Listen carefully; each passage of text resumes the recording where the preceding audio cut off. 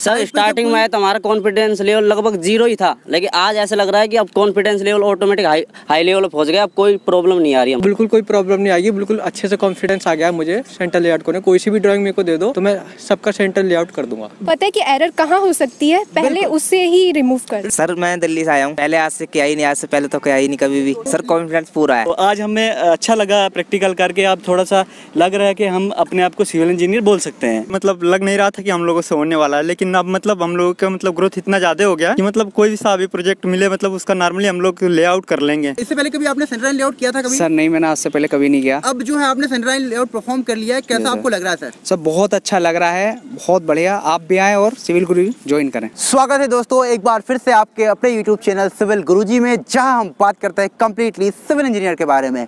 दोस्तों मैं हूँ estimation and planning engineer Gajendra आज हम दिल्ली एनसीआर ब्रांच से लाइव आए हुए हैं और हमारे ट्रेनिज यहाँ पर सेंटर लाइन लेआउट का टास्क परफॉर्म कर रहे हैं। तो चलकर देखते हैं कि किस तरह से उन लोगों ने सेंट्रल लाइन लेआउट की प्लानिंग की है। क्या प्लानिंग की है? किस तरह से उन लोगों ने यहाँ पर चूना मार्किंग की है? ग्रिड किस तरह से प्लॉट की है?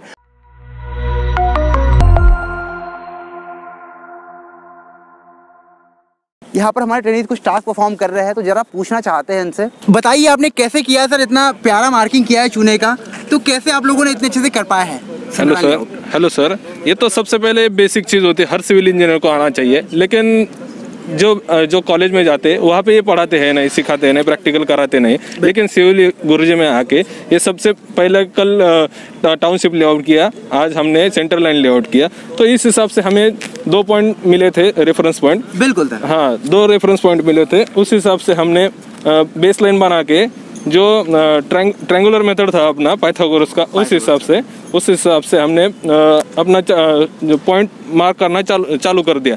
जो अपना प्लॉट बाउंड्री फिक्स करके उस हिसाब से सेंटर लाइन में दिया हुआ हर एक चीज़ को फॉलो करते हुए ज़ीरो ज़ीरो लेवल से एक्स डायरेक्शन और वाई डायरेक्शन में हमने अपना प्लॉट के जो भी कॉलम के फुटिंग के जो पॉइंट आने वाले उस हिसाब से हमने मार्क करना चालू कर दिया। बिल्कुल। हाँ। जैसे ये ग्रिड आपने बनाई है सर तो कैसे मतलब आप लोगों ने इसको फाइंड किया हुआ है?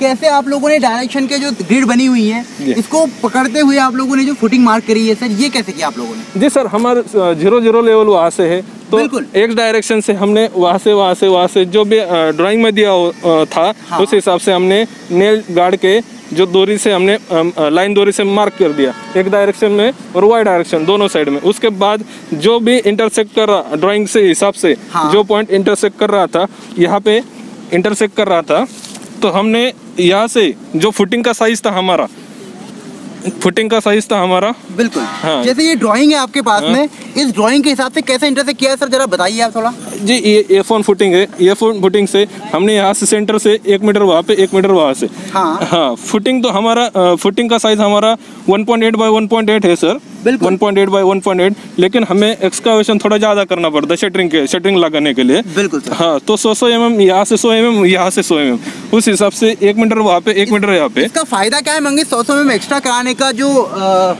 हम लोग एक्स्ट्रा एक्सक्यूशन करा रहे हैं हाँ। तो इसका फ़ायदा क्या होगा हमें? सर हम, हम हमें फ़ायदा ये होगा पहले तो हमें शटरिंग लगाने के लिए जो एक्स्ट्रा स्पेस होनी चाहिए। बिल्कुल। हाँ और उसके बाद जो हम कंक्रीटिंग करेंगे उसके लिए लिए थोड़ा जगह रहेगा शटरिंग लगाने के लिए। तो सॉइल जो भी अपना वाटर सीमेंट रेशियो है वो खराब ना करे इसलिए हम एक्स्ट्रा एक्सकवेशन करते हैं बिल्कुल। अब मंगे इसके पहले कभी सेंट्रल लेआउट किया था आपने?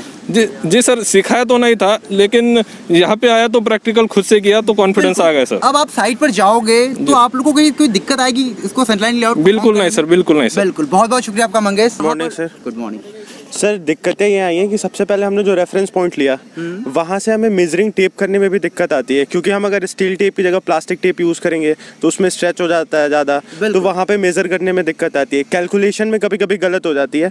पॉइंटिंग पॉइंट में गलत हो जाता है। कभी कैलकुलेशन करते हैं तो हम उसमें गलत हो जाता है। पॉइंट में लेना है या नहीं लेना है ये सारी दिक्कतें होती हैं।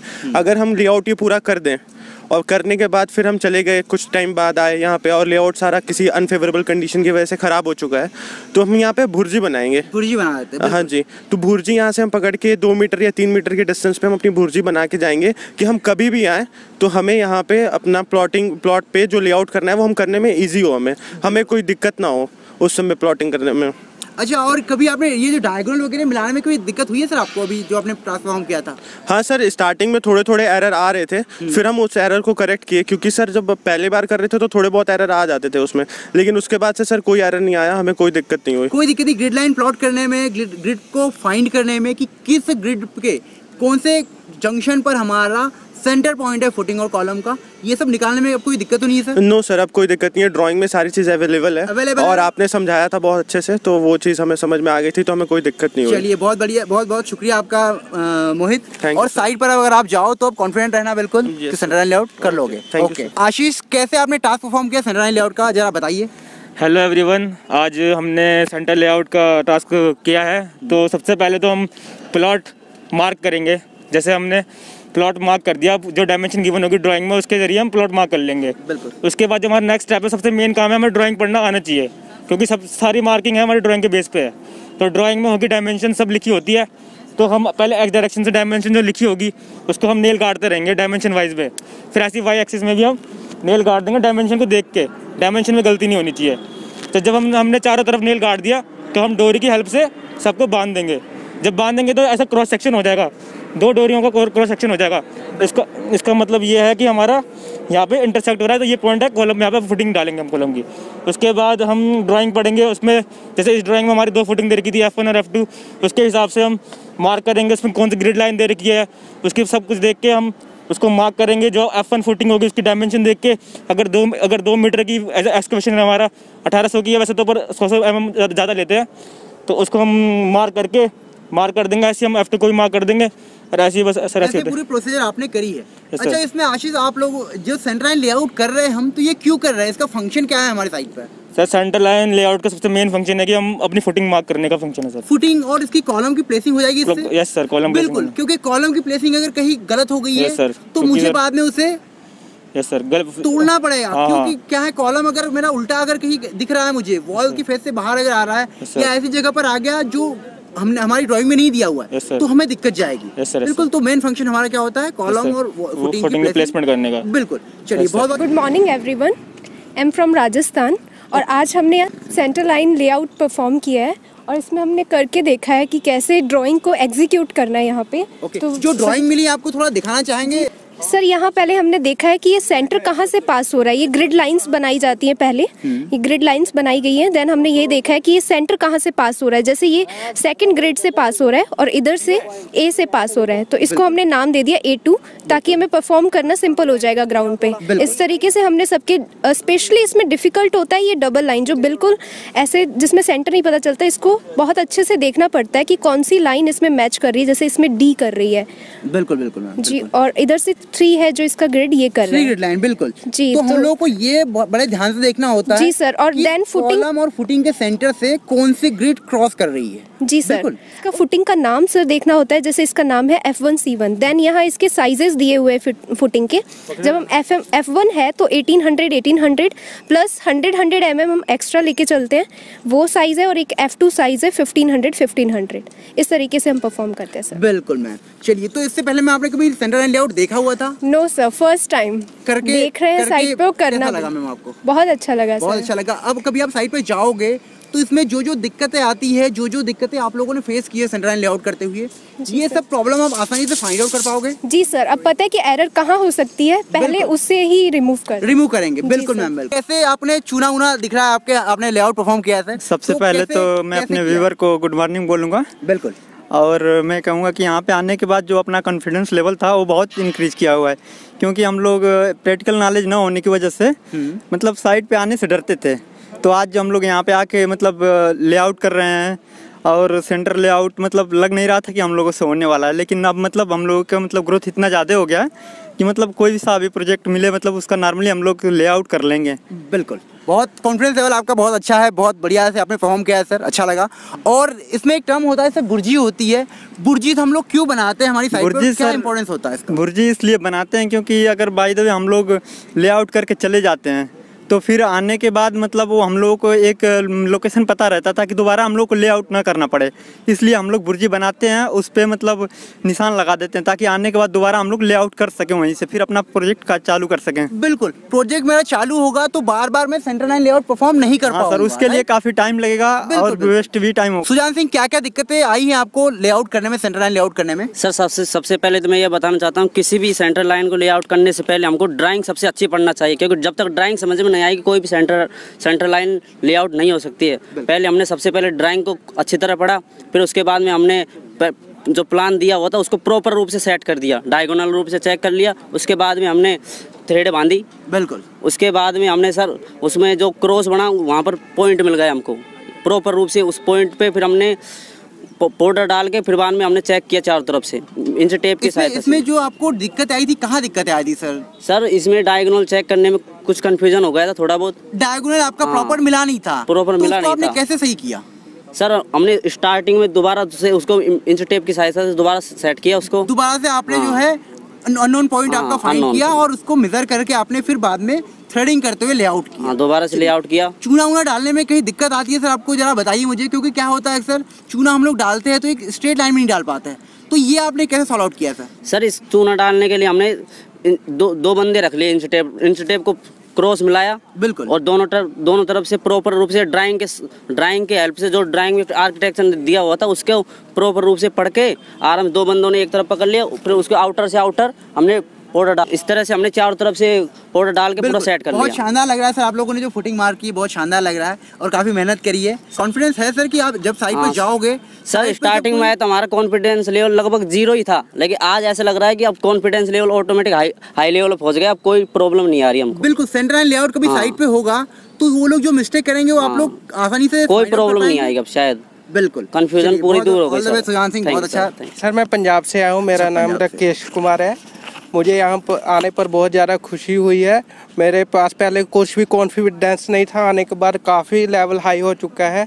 मैंने एक एक करके पॉइंट सभी को अच्छी तरह फॉलो किया ताकि आगे जाके कोई प्रॉब्लम ना आ सके हमें और सर, हमारे सर भी बहुत अच्छी तरह समझाते ताकि कोई भी मिस्टेक करने में ना कर पाए। अच्छा सेंटर लाइन लेआउट करते हैं सर हम लोग साइड पे तो इसका मेन फ़ंक्शन क्या होता है? क्यों किया जाता है centre line layout central line layout करने का मेन फ़ंक्शन ये होता है कि हमारे जितने भी कॉलम है या कुछ भी हम मार्क कर रहे हैं उसको एक्यूरेट आके ताकि कोई भी एरर ना आ सके उसमें। उसकी प्लेसिंग हम प्रॉपर कर सके। बिल्कुल। उसकी कॉलम और फुटिंग की प्लेसिंग हमारी प्रॉपर जगह पे हो। क्योंकि हमारा प्लॉट बहुत बड़ा होता है और हम लोग अगर कहीं पर भी हमारा कॉलम और फुटिंग प्लेस कर देंगे तो बाद में जब हमारा सुपर स्ट्रक्चर होगा तो हमारा कॉलम हमारी वॉल से बराबर मैच नहीं कर पाएगा। बिल्कुल इसके लिए हम लोग को होता है कि प्रॉपर मार्किंग करनी होती है कॉलम और फुटिंग की। इसलिए हम लोग सेंटर लाइन लेआउट परफॉर्म करते हैं। बिल्कुल। और भुर्जी के बारे में कुछ कहना चाहेंगे सर आप भुर्जी बनाते हुए आपने आपको मतलब बताया गया भुर्जी के बारे में? भुर्जी वो होती है सर जैसे हाँ, पानी गिर जाए चाहे मिट्टी डालने के बाद हमारे निशान खत्म हो जा सकते हैं तो इसलिए हमको सब मेहनत किया हुआ खत्म हो जाता है। इसलिए हम उससे पाँच या चार पाँच मीटर दूर के हिसाब से एक थम्स है जैसा बिल्कुल पक्का निशान सीमेंट के साथ निशान दे सकते हैं ताकि उसके दोबारा हम दोबारा काम शुरू कर सकते हैं। उसको हम भुर्जी कह सकते भुर्जी हैं। बिल्कुल। बहुत बहुत शुक्रिया आपका राकेश। बहुत बढ़िया अच्छा लगा। गुड आफ्टरनून सर सर सबसे पहले तो मैं ये बताऊँगा कि कल हमने जैसे किया था टाउनशिप लेआउट मतलब प्लाट की मार्किंग की थी।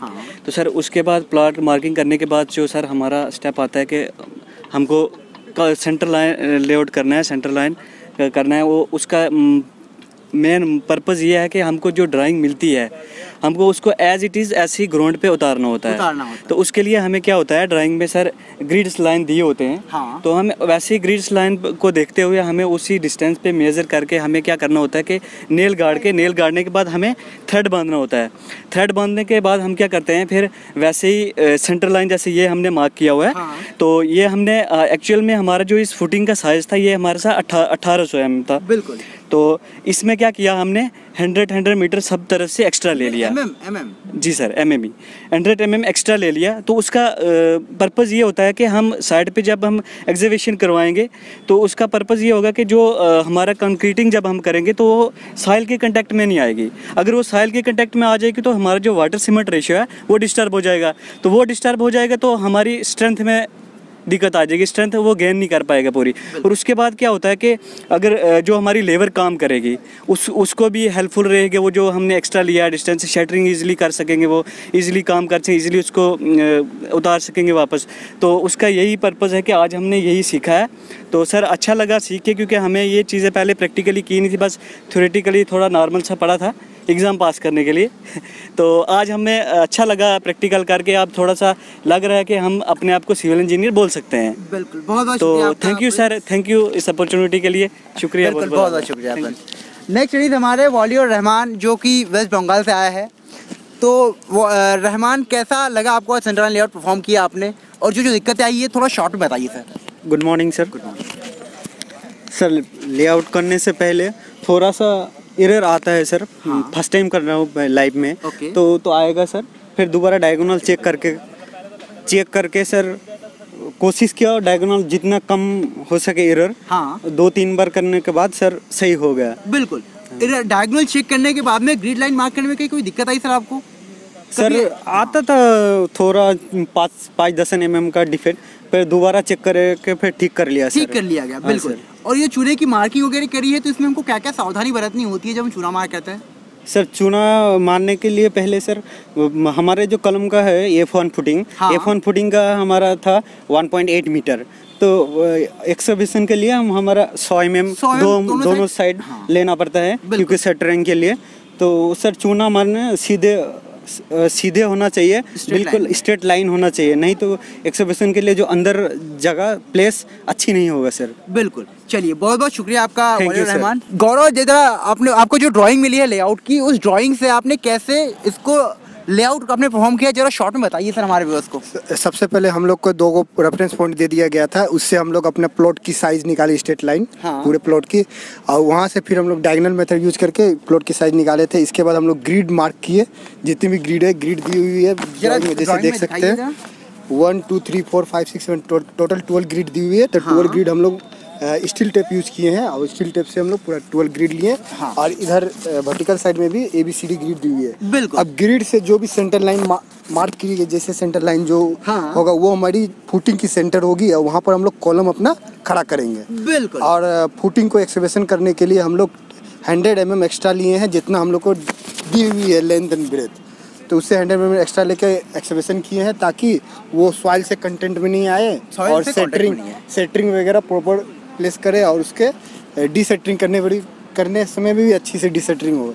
और ये करने में तो पहली बार हम परफॉर्मेंस किए थे लाइफ में लेआउटिंग उसके प्रॉपर एकदम ज़मीन पर उतारना है। फुटिंग जैसे अगर अगर अच्छी से लेआउटिंग नहीं किए तो हम लोग की कॉलम टेरी वगैरह हो जाएगी। प्लेसिंग और प्लेसिंग उसकी सही नहीं सही। है सही नहीं होगी। और ब्रिक मशीनरी भी, भी सही नहीं होगी कुछ भी सही नहीं होगी। मतलब लेआउटिंग एक ऐसा चीज़ है कि सिविल इंजीनियरिंग की पहली बेसिक नींव है। बेसिक नींव है। बिल्कुल और वो सही नहीं हुई तो कुछ भी सही नहीं होगी बिल्डिंग बिल्कुल। चलिए गौरव बहुत बहुत शुक्रिया आपका गौरव। नेक्स्ट लेडीज़ हमारे सर क्या नाम है आपका? अभिषेक। अभिषेक कैसा लगा सेंट्रल लाइन लेआउट करके आपको परफॉर्म सर बहुत अच्छा लगा मतलब कि अब थोड़ा भी कॉन्फिडेंस आ गया अगर साइट पे जाएँगे तो परफॉर्म करा पाएँगे। बिल्कुल। सेंट्रल लाइन लेआउट हमको कम से कम साइड पे कितनी बार करना होता है sir sir centre line layout एक बार हो गया उसके बाद सर मतलब कि एक्सकवेशन हो जाएगी। बिल्कुल। तो इसके लिए हमको बुर्जी बनानी पड़ती है क्योंकि ये सब हट जाएगा सामान। हाँ। तो बुर्जी इसलिए बनाते हैं तो रेफरेंस लेते हैं सर हम ताकि तीन तीन तीन मीटर पे मतलब कि आठ बुर्जे तो कम से कम बनेंगी मतलब कि कॉर्नर पे। तो बनानी ही पड़ेंगी।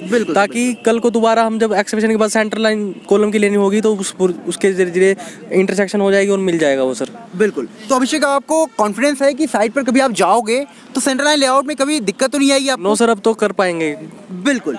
आपको करके एक कॉन्फिडेंस आया कि हाँ यस सर बिल्कुल आया सर चलिए ऑल द बेस्ट अभिषेक। तो आपने देखा दोस्तों हमारे ट्रेनिंग किस तरह से सेंट्रल लाइन का लेआउट इतने शानदार तरीके से उन्होंने चूना मार्किंग करते हुए प्रॉपर तरीके से बिना किसी इरर के zero zero M M diagonal match करते हुए परफॉर्म किया है। इसी तरह आप लोग भी अपनी छोटी छोटी जो साइट की स्किल्स होती है, ये हमको बहुत ज़्यादा ग्रोथ देती है दोस्तों। साइट पर जब हम लोग इसको परफॉर्म करते हैं तो कहीं ना कहीं हमारे करियर में एक उछाल आता है। यही सब चीज़ें हम लोग आपको प्रोवाइड कराते हैं और 15 जनवरी का बैच अभी कम्प्लीटली रजिस्ट्रेशन स्टार्ट हो चुका है दोस्तों। तो जाइए डिस्क्रिप्शन में लिंक दिया हुआ है, कैसे आप लोग ज्वाइन कर सकते हैं सिविल गुरुजी की ऑफलाइन ट्रेनिंग को कॉल कीजिए nine triple one double zero one two three four पर और अपनी सीट बुक कराइए। इसी तरह से साइट की और अच्छी डिटेल्स और शानदार छोटी छोटी जो बारीक बारीक बातें होती है, ये हम ऐसी डिटेल आप लोगों के साथ प्रोवाइड करते रहेंगे। तब तक के लिए जय हिंद, जय भारत, वंदे मातरम।